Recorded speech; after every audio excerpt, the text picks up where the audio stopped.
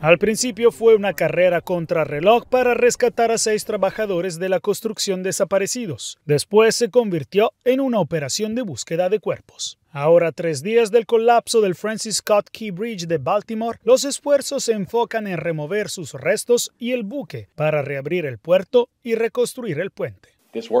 Este trabajo no llevará días, este trabajo no llevará semanas, tenemos un largo camino por delante. Entre tanto, el buque Dali permanece anclado con su tripulación aún a bordo. Su caja negra reveló nuevos detalles del accidente, como el intento desesperado de lanzar el ancla sin éxito para parar la nave antes de la colisión.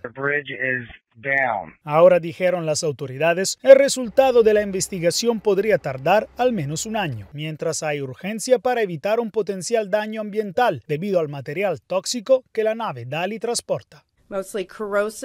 Principalmente corrosivos, inflamables y otros materiales peligrosos. Algunos de los contenedores con materiales peligrosos se rompieron. Entre tanto, se detuvo la búsqueda de los cuerpos aún atrapados entre los escombros. Los buzos no pueden acceder al área donde creen que hay más vehículos y víctimas. Es demasiado peligroso. Una vez que se lleve a cabo el esfuerzo de salvamento y se retire la superestructura, esos mismos buzos volverán a salir y le darán un cierre a estas familias.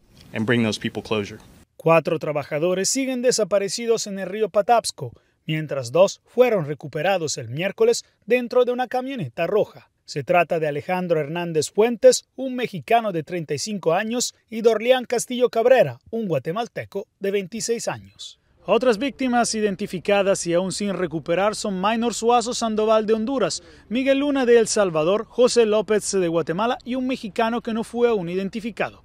Entre tanto, para concluir, las autoridades confirmaron que el material tóxico del buque no representa un peligro para el medio ambiente. Además, los investigadores buscan entender quién es responsable, en particular si la propiedad del Dali fue negligente en el mantenimiento del buque y si el puente tenía problemas estructurales en sus pilares. Jacopo Luzzi, Voz de América, Baltimore.